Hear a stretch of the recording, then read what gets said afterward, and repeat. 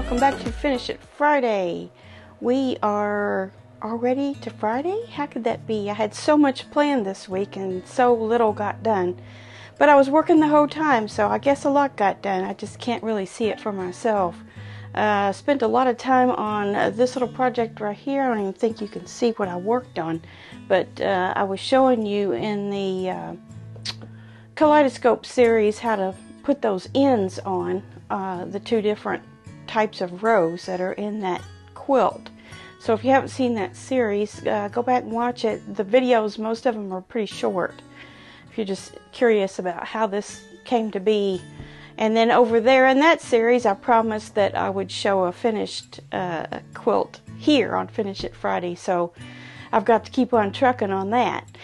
And so I've been doing that. Had a little um, a little bit of challenge with those, trying to get those half um, half triangles and full triangles and turn them in such a way that you came out with with the straight ends. So um, got that figured out and showed you how to do it. And then I also got block number three or the March block of the Sew Yeah Friends box uh, block of the month. I guess you'd call it a mystery block of the month uh, that they have with their boxes this year. And I put the other two, January and February, here so you could see them. Kind of turned them on point for, for fun. And uh, I don't know how that, if that's how they'll be set or not. I doubt it. That'd be cool though, wouldn't it? Hmm. Anyway, that's all I got done this week, believe it or not. Except, ta da! I got my vertical sashing done and these four rows put together on the red and white quilt. So I have very little left to do on this. As far as the top goes, just do uh, another few horizontal bars across there and some borders. And I have my um, backing ordered for it. It's going to be a red toile. If it looks good, if it gets here and it looks right with this, I will use red toile for the back and uh, pretty soon we'll be quilting her up.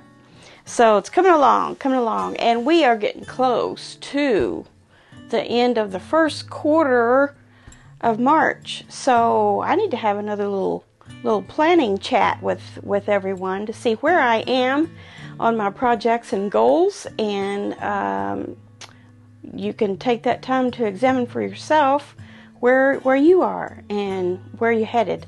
And I need to definitely get some more projects in the queue for the next quarter. So we'll be talking about that on Monday, I would say. Um, let's go ahead and get into what was sent in this week.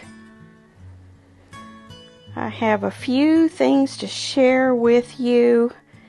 Thank goodness for you all who are keeping busy on your uh, projects.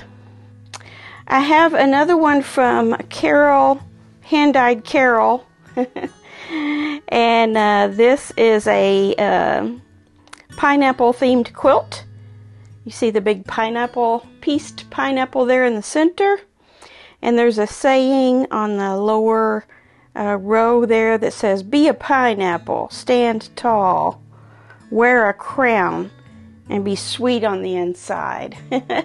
I love that. I love that saying.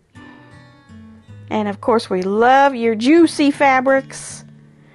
And it looks like this particular one is for someone. Let's see what she says about it. She says, My granddaughter Tori wanted a pineapple quilt for her queen size bed. She wanted pineapples and she got pineapples. Yes, she did. The fabrics were all my sun dyed fabrics. Most of the blocks were embroidered on my embroidery machine except for the giant pineapple in the middle and the melon blocks. I also embroidered her name in the pina colada blocks. I noticed that. I did not use a pattern. I just started with the giant pineapple in the middle and went from there. I quilted it with a palm design and an all over swirl on my sit down long arm machine. You're just burning up that uh, sit down long arm machine. Good for you. I loved making this quilt knowing it was for someone I love. That is what quilting is all about. Yes, it is. Beautiful job. Tori will love it if she doesn't already have it. I have something from Jane. And I want to read what uh, she says about this first as it goes across the screen there for you. My latest finish is influenced by the vivid colors of the flowers on trees and shrubs I've seen here in Australia. It's a small throw slash lap quilt, 45 by 47 inches, and I copied a design of half square triangles I found on Pinterest. I like the asymmetry of it. It was good practice for me, and although there are lots of points that don't line up, it is an improvement. I backed it with Minky, a first for me. And to say it was all stitched on a very simple basic machine, I'm pretty happy with it. It's a splash of color on a gray sofa. Yes, that is a very nice uh, splash of color. And I like how you thought of your, you know, nature in your area, flowers that you've seen, uh, and included that. And uh, good for you for uh, striking out and trying that Minky. It's not as bad as everybody says. And you did a great job. She did that on her plain old sewing machine, all of that. So great job. I like that asymmetry too. Um, yeah, great pattern. Great, great idea. Lovely. I have one from Deb. It's a wall hanging. And there's another one there that is a uh, Oh My Stars. She says sunflower wall hanging is quilted with bees and sunflower design. Stars quilting included in the Oh My Stars lap quilt. Enjoy watching your videos during the week while on my treadmill. Hope you will show us your sewing area sometime. I will, I will. You know, I got it all cleaned up and organized in here, and ever since then, I've had projects out everywhere. So I keep thinking I'm, I've got to do that one of these days and uh, just take a tour. So maybe really, maybe I'll include that on Monday too. Just take a tour of the room here and, and let you see. I mean, you see this side of it and you see the other side of it, but you don't see the in between. So one of these, one of these days.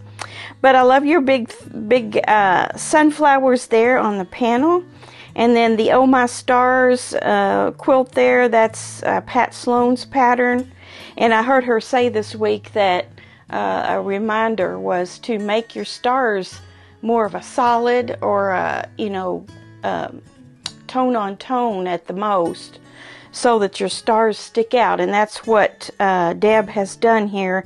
She did her stars in a dark, and of course, they pop off of her other colors that are in the quilt there.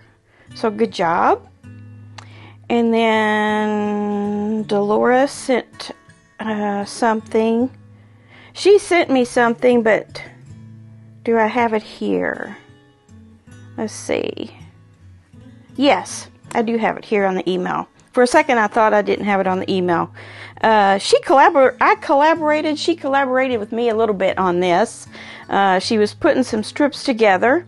This is this blue and cream here, and this is a uh, like freshwater fish themed quilt for a man. Uh, she was asking me what she should do uh, on on it, and uh, we came to the conclusion that those long borders and her uh, striped configuration would make a great guy quilt.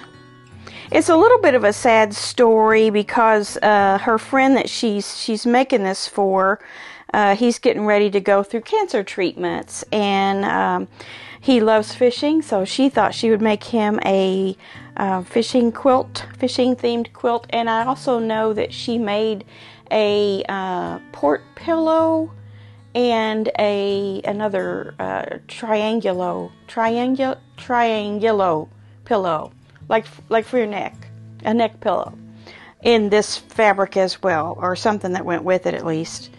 And so he's going to love that if he doesn't have it already. And uh, i think it turned out great. I love it. You wouldn't think you could take fish fabric and make a beautiful quilt out of it but you sure can. There's another one from, uh, I believe this is Sarah. She says, I finished a few handbags. I purchased the patterns and the wire frames from Soya, but the Emmaline Bags has a free tutorial on the retreat bag. Uh, so very easy, can walk. That's a channel or I don't know, can walk anyone through it. I hope my handbags count. Love all your videos. Of course, they count. A bag definitely counts. says my first two, as I call them, pancakes because you always throw the first pancakes away. That's true, isn't it? But no, these these are not these are not throwaways. These are really good. You did a great job on those bags. They're quite for me, those are quite complicated. I don't do a lot of bags, especially structured bags like that. But I love the uh, patterns that you, um, the fabric that you've chosen is is very cute, and these are great bags. They just are, Sarah. You did a great job. Okay, I think that's all I have. Uh, one reminder would be is if you send me something in email, or not email, if you send me something or put something on the Facebook group that you want included on the Finish It Friday, send it to me in an email also. Yes, I'll see it on the Facebook group, but it's just easier for our editing purposes if we can have all of them in one spot to start with instead of having to go go find them and gather them together. So, yes, put them on the Facebook group. And if you want them on, on this show, then uh, send me an email as well of those very same pictures. And they will get on here and we'll all be able to enjoy them. Everyone tells me all the time in the comments. If you go back and read the comments after these videos and you've had uh, a submission shown on here, um, you'll see that everyone really loves everyone's work and loves to see uh, what everybody else is doing and, and their creativity and uh, what they've got going on in their sewing room. So that's why we like to share. It's always good to to share our creations with others and encourage them to, to try it as well. So that looks to be all for Finish It Friday. I'm going to keep working on this and um, my friend Julie sent me some, uh, the last little fat quarter slipped in there just in time to be the cornerstones. So we're going to get those in uh, under the, these white uh, vertical pieces and in between there and get the horizontal pieces constructed and added and I'm I'm just really excited that that this is finally it's finally happening and I've really enjoyed this pattern. It's it's quite intricate, not hard, just nine patches and snowballs, but it makes a great looking quilt. Don't you think? All right, we'll see more of that next week probably when I have it all put together. Okay, that's it. Have a great weekend. Um, I need one of y'all to start me a GoFundMe for some lighting because the sun hasn't shone for a couple days. and as I make this video, I feel like I'm in the dark. So, no, I'm just kidding about that. I, I, it's the sun. It's the lack of sun. It's not. It's not that I need lighting. Well, I probably do need some some better lighting, but neither here nor there. All right, so get busy and get your sewing stuff out this weekend and finish something up or start something or get something out you haven't worked on in a while and give it a good 15 or 20 minutes and before long you'll you'll just be in a a mad mood to sew. And it's so good for your uh, your mental health. So thank you so much. Thank you for your submissions this week. And I will see you guys on Quilt Chat Monday. All right. Bye